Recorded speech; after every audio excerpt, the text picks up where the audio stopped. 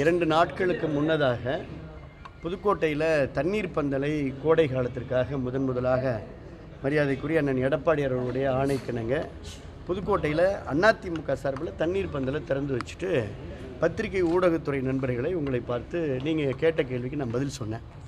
அதில் நான் சொன்ன முதல் பாயிண்ட் வந்து தமிழ்நாடு முழுக்க வெப்ப அலை வீசுகிறது.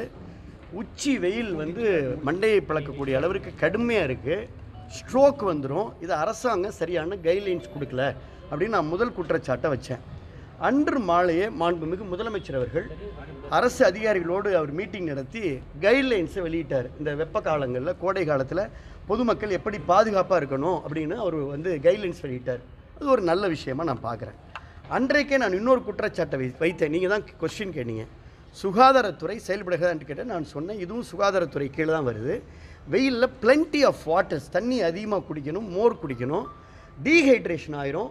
டீஹைட்ரேஷன் ஆனால் அவங்களுக்கு ரொம்ப வ- வயதானவர்களுக்கெல்லாம் பாதிப்பு ஏற்படும்னு சொன்னேன். உடனே சுகாதாரத்துறை சென்னையில் மீட்டிங் நடத்தி பொது சுகாதாரத்துறை இயக்குனர் டாக்டர் செல்வநாயகம் மீட்டிங் நடத்தியிருக்காரு மீட்டிங் நடத்தி தமிழ்நாடு முழுக்க ஆயிரம் இடங்களில் டீஹைட்ரேஷனை போக்குறதுக்கு ஓஆர்எஸ் கரைசல் அரசு சார்பில் வழங்கப்படும்னு சொன்னார். நான் அதை வரவேற்கிறேன். அதுக்கு வந்து அது அது ஒரு நல்ல விஷயம். நம்ம சொன்னோம் உடனே அப்போ நான் ஒரு எதிர்க்கட்சியினுடைய சட்டமன்ற உறுப்பினர் மக்களுடைய கருத்தை நான் ஒழிக்கணுமா வேண்டாமா? இப்போ இந்த மாவட்டத்தில் ஆறு சட்டமன்ற உறுப்பினர் இருக்கிறாங்க. நான் ஒரு ஆள் தான் எதிர்க்கட்சி சட்டமன்ற உறுப்பினர். அப்போ எதிர்க்கட்சி சட்டமன்ற உறுப்பினர் என்ற முறையில் இந்த மாவட்டத்தோட பிரச்சனையை நான் ஓங்கி குரல் கொடுக்கணும். அதான் என் கடமை. அதுக்கு தான் எனக்கு மக்கள் நான் ஆயிரத்தி எட்நூறு ஓட்டில் ஜெயிக்கல சட்டத்துறை அமைச்சர் மாதிரி. இருபத்தி நாலாயிரம் இருபத்தி ஐயாயிரம் வாக்குகள் வித்தியாசத்தில் நான் ஜெயிச்சிருக்கிறேன். அப்போ எனக்கு வந்து இந்த நம்ம இந்த மக்களுக்காக நான் வந்து ஓங்கி ஒழிக்கணும். இப்போ மாவட்டத்தில் நான் தண்ணி பிரச்சனைன்னு சொன்னேன். நான் இப்போ பத்திரிக்கையாளர் உங்களை பார்த்து கேட்குறேன் இப்போ நீங்களாம் புதுக்கோட்டில் தானே இருக்கிறீங்க? டெய்லி தண்ணி வருதா? வருதா? வரல எத்தனை நாளைக்கு ஒருத்தர் வருது? பதினஞ்சு நாளை ஆ பதினஞ்சு நாளைக்கு இப்போ நீங்களே சொல்கிறீங்க புதுக்கோட்டையில் பதினஞ்சு நாளைக்கு ஒருத்தர் தான் தண்ணி வருது. அப்போ நான் என்ன சொன்னேன்? வார்த்தைகளை ரொம்ப கண்ணியமாக சொன்னேன். நான் அரசியலில் தடுமாறாத ஆள். அரசியலில் தடமும் மாறாத ஆள். அரசியல் தடம் மாறாத ஆள் அரசியலில் தடுமாறாத ஆள்.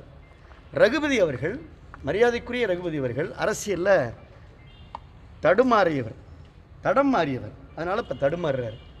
நேற்று அவர் அண்ணா திமுகவில் இருந்தார். இன்றைக்கி திமுகவில் இருக்கார். நாளைக்கு எந்த கட்சியில் இருப்பார்னு எனக்கு தெரியாது.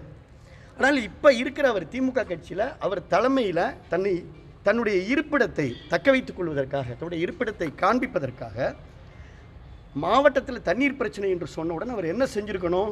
அமைச்சர் என்ன செஞ்சுருக்கணும்? உடனே கலெக்டர் ஆஃபீஸ் இங்கே இருக்குது அமைச்சர் உடனே மாவட்ட கலெக்டர் ஆஃபீஸ்க்கு போயிட்டு காவல் நம்ம எல்லா அதிகாரிகளையும் கூப்பிட்டு குறிப்பாக டுவாட் டிபார்ட்மெண்ட் குடிநீர் வடிகார அதிகாரிகளை கூப்பிட்டு உள்ளாட்சித்துறை அதிகாரிகள்லாம் கூப்பிட்டு இது மாதிரி ஒரு எதிர்க்கட்சி சட்டமன்ற உறுப்பினர் பேசுகிறாரு இப்போ உண்மையிலே இங்கே தண்ணி பிரச்சனை இருக்கா? தண்ணி பதினஞ்சு நாளைக்கு ஒரு தடவை வருதா? இதை எப்படி நம்ம போக்கணும்? இந்த கோடை காலத்தை இந்த தண்ணியை நம்ம வந்து எப்படி சமாளிக்கணும்? அடுத்து மக்களுக்கு எப்படி தண்ணி நான் மக்களுக்காக தானே பேசுகிறேன் இந்த புதுக்கோட்டை மாவட்ட மக்களுக்காக தான் நான் குரல் கொடுத்தேன். அப்போ இந்த தண்ணி பிரச்சனையை பேசினா அதை திசை திருப்பதற்காக யார் மடை மாற்றினால் நான் வந்து தண்ணியை திசை திருப்புவதற்காக தண்ணீர் இந்த மாவட்டத்தில் தண்ணீர் பிரச்சனை கடுமையாக இருக்கிறது. மக்கள் போராட்ட மனநிலைக்கு செல்ல இருக்கிறார்கள் என்பதை நான் சொல்லுகின்ற பொழுது இதற்கு குடிநீர் நீர் அதிகாரிகளை அழைத்து குடிநீர் வாரிய அதிகாரிகளை அழைத்து ஒரு ஒரு ஆய்வுக் கூட்டம் கூட நடத்தி உண்மை நிலை என்பதை தெரிந்து கொள்ள தயாராக இல்லாத ஒரு சட்டத்துறை அமைச்சராக இந்த அமைச்சர் இருக்கிறார். உடனே வார்த்தையில் விஷத்தை கக்குகிறார். நெஞ்சில வன்மத்தை கக்குகிறார். தனிப்பட்ட முறையில் விஜயபாஸ்கர் வந்து காவிரி தண்ணீரை இடைமறித்து வழிமறித்து நான் வயலுக்கு பாய்ச்சுகிறேன் என்று சொல்லுகிறார். இருபத்தி நாலு மணி நேரம் டைம் கொடுக்குறேன். டுவெண்ட்டி ஃபோர் ஹவர்ஸ் டைம் இருபத்தி அவர் ஒரு மணி நேரம் சொன்னார்ல இருபத்தி நாலு மணி நேரத்தில் பத்திரிகையாளர்கள்லாம் அவர் அழைத்து கொண்டு போய் அவர் வந்து அங்கே போய் எங்கே வந்து நான் எந்த இடத்துல இடைமறித்திருக்கிறேன் எத்தனை வ- வ- வாய்க்கு வயலுக்கு நான் வந்து தண்ணீர் பாய்ச்சிருக்கிறேன் என்பதை ரகுபதி அவர்கள் நிரூபிக்க தயாரா? அவர் நிரூபிக்கலை அப்படின்னா அவர் சட்டத்துறை அமைச்சர் பதவியை ராஜினாமா செய்வதற்கு தயாரா என்ற கேள்வியை நான் பகிரங்கமாக கேட்க விரும்புகிறேன். நான் மீண்டும் சொல்கிறேன் நான் அரசியலில் எவ்வளோ சோதனை வந்தாலும் தடம் மாறாமல் இருக்கிறேன் தடுமாறாமல் வார்த்தைகளை பயன்படுத்துகிறேன். அவர் அரசியலில் தன்னுடைய சுய லாபத்திற்காக பலமுறை அவர் தடுமாறியவர் பலமுறை அவர் தடம் மாறியவர். நான் மீண்டும் சொல்லுகிறேன் நேற்று அவர் அதிமுகவில் இருந்தார் இன்றைக்கு திமுகவில் இருப்பார். நாளைக்கு அவர் எந்த கட்சியில் இருக்காருன்னு அவருடைய தலைமைக்கு தெரியாது. தலைமைக்கு தன்னுடைய இருப்பிடத்தை காண்பதற்காக இது போன்ற ஒரு அவதார சுட்டை ஏதோ கல்லூரிக்கு தண்ணி பாய்ச்சிறேன் என்பதையும் வயலுக்கு தண்ணி பாய்ச்சிறேன்றதையும் நான் சொல்கிறார் எல்லாம் ரைட்டு. எனக்கும் ரகுபதிக்கான பிரச்சனையை நான் பார்த்துக்கிறேன். நான் பார்த்துக்கிறேன். யாரும் அது அதில் வேண்டியதில்லை.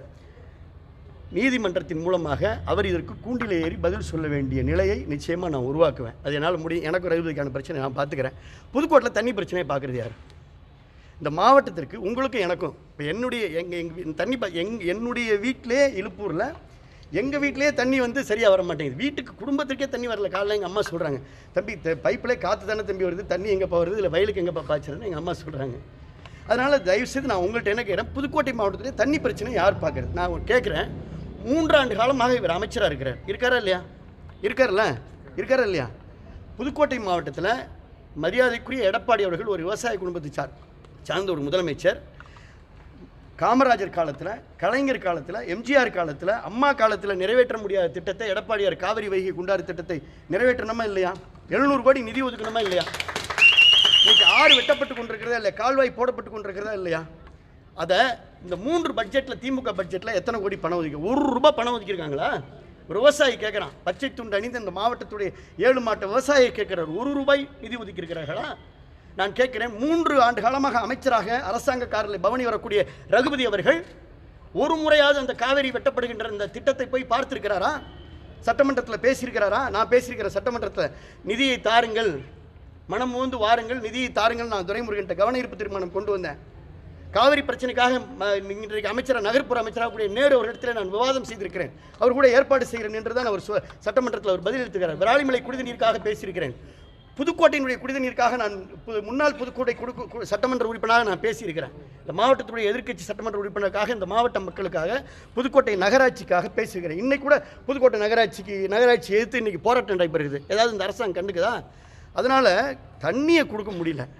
இந்த மாவட்டத்தில் தண்ணியை கொடுக்க முடியல. கிரவுண்ட் வாட்டர் கீழே போயிடுச்சு கோடை காலத்தில் எப்படி சமாளிக்கிறதுன்னு இதுக்கு நம்ம ஏதோ இந்த ப கிராமத்தில் பழமொழி சொல்லுவாங்கல்ல பட்டுக்கோட்டைக்கு வழி கேட்டால் கொட்டைப்பாக்கு என்ன விலை என்று சொல்வது போல் தனிப்பட்ட முறையில் வந்து இது வந்து ஒரு ஏற்றுக்கொள்ள முடியாத ஒரு அபாண்டமான குற்றச்சாட்டை அவர் சொல்லியிருக்கிறார். இருபத்தி நாலு மணி நேரத்தில் அவர் அதை நிரூபிக்க வேண்டும். இல்லை என்றால் அவர் பதவி விலக வேண்டும் என்பதை நான் வலியுறுத்தி சட்டத்துறை அமைச்சருக்கினுடைய கடுமையான கண்டனத்தை நான் தெரிவித்துக் கொள்கிறேன். முதல்ல மக்களுக்கு தண்ணியை கொடுங்க. முதல்ல குடிக்கிறதுக்கு தண்ணியை கொடுங்க. ரெண்டு குடம் தண்ணி இந்த மாவட்டத்தில் புதுக்கோட்டை நகராட்சியில் ஒரு டெய்லி கொடுக்க வேணாம். ஒரு நாள் அதிமுக ஆட்சி மேலே ஒரு நாள் விட்டு ஒரு நாள் தண்ணியை கொடுங்க. அதுக்கப்புறம் நீங்கள் பேசுங்க. விராலிமலைக்கு தண்ணியை கொடுங்க. புதுக்கோட்டையில் இருக்கக்கூடிய ஒன்றிய பகுதியில் இருக்க நாங்கள் ரெண்டு ஸ்கீம் கொண்டு வந்தேன். என்ன செஞ்சோன்னு கேட்குறாரு இது வரைக்கும் விஜயபாஸ்கர் கோட்டை விட்டு விட்டேன்னு நான் சொல்கிறேன் ரெண்டு காவிரி திட்டத்தை முந்நூற்றி பத்து கோடிக்கு ஒன்று முந்நூற்றி இருபது கோடிக்கு ஒன்று இரண்டு காவிரி கூட்டு குடிநீர் திட்டத்தை சட்டமன்றத்தில் பேசி பெற்றது நான் நிதியை ஒதுக்கியது நாங்கள் அதிமுக ஆட்சியில் ரெண்டையும் எடப்பாடியார் வந்து எம்ஜிஆர் நூற்றாண்டு விழாவில் பைப்பை திறந்து தண்ணி கொடுத்தாரு. அந்த தண்ணி தான் இன்றைக்கி எல்லா கிராமத்துக்கும் போயிட்டு இருக்கு தெரியுமா இல்லை உங்களுக்கு உண்டு தான் இல்லை தெரியுமா இல்லையா? அதான் அந்த தண்ணி தான் போயிட்டு இருக்கு இது வரைக்கும் எந்த திட்டத்தையும் இந்த மாவட்டத்துக்கு கொடுக்கல. அரசு மருத்துவக் கல்லூரி புதுக்கோட்டை கொடுத்தது யார்? விஜயபாஸ்கர் போராடி கொடுத்துருக்கிறேன். அதிமுக ஆட்சியில் கொடுத்துருக்குறோம் அம்மா கொடுத்தாங்க எடப்பாடியார் திறந்தார். அரசு பல் மருத்துவ கொடு பல் கல் கல்லூரியை கொடுத்துருக்குறேன். ஆலங்குடி தொகுதிக்கு டிப்ளமோ கல்லூரியை கொடுத்துக்கிறோம் விராலிமலை தொகுதிக்கு வேளாண்மை கல்லூரியை கொடுத்துக்கிறோம் ஐடிஐ கல்லூரியை கொடுத்துருக்குறோம். முனிசிபாலிட்டியில் இன்றைக்கி எவ்வளோ பெரிய திட்டங்களை நாங்கள் கொண்டு வந்து கொடுத்துருக்குறோம். நீங்கள் எண்ணி பாருங்கள் இந்த பூங்கா யார் கொண்டு வந்தது? அதிமுக ஆட்சியில். காவிரி கொண்டு வந்தது அதிமுக நான் மூன்று வருஷமாக எந்த ஒரு திட்டத்தையும் இந்த மாவட்ட அமைச்சர் என்ற முறையில் சட்டத்துறை அமைச்சர் அவர் ஏற்கனவே எனக்கு சட்டத்துறை தான் இருக்குது என்னை யாரும் சரியாக கவனிக்கல. அவர்னு அவர் புலம்பிட்டு இருக்காரு. அவருக்கு அதிகமான அதுக்கு நல்ல வேணும்னா அவர் அது தன்னுடைய இருப்பை இப்படி காமிக்கக்கூடாது மக்களுக்காக உழைக்கணும். மக்களுக்காக கஷ்டப்படணும். கஜ புயல் கஜா புயலில் நாங்கள் எப்படி களத்தில் நின்னோம்? எப்படி கொரோனா காலத்தில் களத்தில் நின்னோம்? இப்போ எப்படி எதுனாலும் மக்கள் பிரச்சனை களத்தில்னா களத்தில் நிற்பது தான் விஜயபாஸ்கர். விஜயபாஸ்கர்னா களத்தில் நிற்பேன் போராடுவேன். அதனுடைய போராட்ட குணம். அதுக்காக திசை திருப்புற மாதிரி பேச பேசுவது என்பது ஏற்புடையதல்ல இப்போ நான் ரொம்ப கண்ணியத்தோடு பேசுகிறேன் இதற்கு பிறகும் ரகுபதி அவர்கள் ஒரு வயதில் பெரியவர். என்னை எனக்கும் எங்கள் அப்பாவுக்கும் அவருக்கும் ஒரே வயசு. அதனால தான் நான் வார்த்தைகளை ரொம்ப கவனமாக கையாளுறேன். இப் இனிமேலாவது ரகுபதி அவர்கள் இது மாதிரி தனிப்பட்ட விமர்சனங்களை தனிநபர் தாக்குதல்களை திமுக தவிர்த்து கொள்ள வேண்டும். இல்லை என்றால் எனக்கு நிறைய விஷயம் இருக்குது மூளைக்கு மூளைக்கு வந்து திரைத்துறையில் அவர் என்ன பண்ணியிருக்கிறாரு? திரைமறைவு துறையில் அவர் என்ன பண்ணியிருக்கிறாரு? இப்போ என்ன செஞ்சுட்டு இருக்கிறாரு அப்படின்ற விஷயங்களை நான் மூளைக்கு மூளைக்கு நான் வந்து தெருமனை பிரச்சாரம் போட்டு அதிமுக ஒன்றும் சாதாரண இயக்கம் அல்ல.